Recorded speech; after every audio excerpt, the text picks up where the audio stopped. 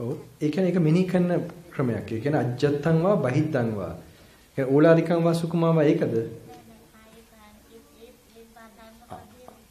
අර කායේ කායානුපස්සී විහෙරති. ඒතර අජත්තං වා ආ හරි හරි. ඔව් ඔව්.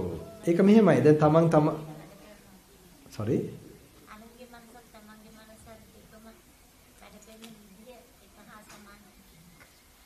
ඔව් අන්න හරි. එතකොට තමන්ට එතන අනත්ත් සංඥාව නෙන්නේ සිදුවීමක් නේ ස්ටඩි කරන්නේ. එතකොට සිදුවීමේ ස්කෝප් එක තමයි කියන්නේ. තමන් එතකොට බාහිර අභ්‍යන්තර කියලා කියන්නේ අපේ ගාව වැඩ කරන්නේ ධර්මතාවය. ඒක අපි මෙනෙහි කරනවා. එතකොට ඒකයි මේ බාහිර එච්චරනේ ලෝකෙකට තියෙන්නේ. බාහිර අන්න එතට කලපනවා.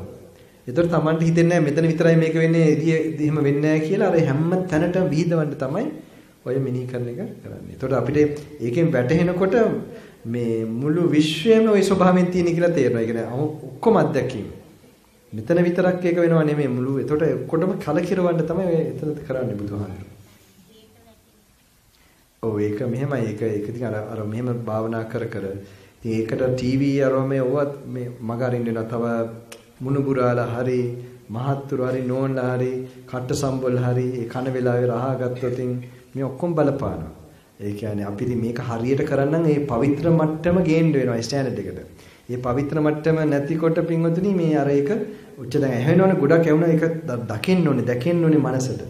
ඒ ඒක ඒ මනසට වැඩිලා දැකලා ඒක මේ සක්මන් කරනකොට හැබැයි ඒක කරන්න ඕනේ ඒක හොඳයි. හැබැයි ඔව් ඒක හොඳයි ඒක හරි. ඒක දෙපැත්තම බලන්න ඕනේ හරි. ඒවා කරන්නේ අර අපේ අර ආච්චි වගේ. එදා ඒතර අර පුතා නැති වෙනකොට අර ඒක ප්‍රායෝගිකව එහෙම කඳුලක් කෙළුවේ නැහැ බලන්න ගියේ නැහැ. ඒක මහා ආදර්ශයක් නේ. කියන්නේ මොකද ඒගොල්ලෝ එහෙම වැඩුවා. මම හිතන්නේ එහෙම මැනියු කෙනෙක් ආච්චි කෙනෙක් වෙන්නද. ඒක ලොකු ආදර්ශයක් වෙන්න ඕනේ. ලොකු දෙයක්. අපේ අපේ ආච්චි නම් තියා ප්‍රශ්නේ කරන ටීවී එළියට කල් බැලුවා. හාමුදුරන්ට හරි ආදරේ. අත සෝමසාරි වහන්සේට එමේ කුට ආච්චි හරි ආදරේ මගේ කරගෙන වගේ ස්වාමීන් වහන්සේලා. හැබැයි ආච්චිලා භාවනා කරේ නැහැ. ගෙවල් වලට ඇලිලා ඒ උයනේ වල වලට. දැන් ඔය ඉපදිලා ඇති කොයි හරි ඉතින් මට උගන්වන්න පුළුවන් වෙයි දැන්. මේ විදිහට. ඔව් ඒගොල්ලෝ එනවනේ මෙහෙම ඉපදිලා එක වෙනවා පින්වතුනි.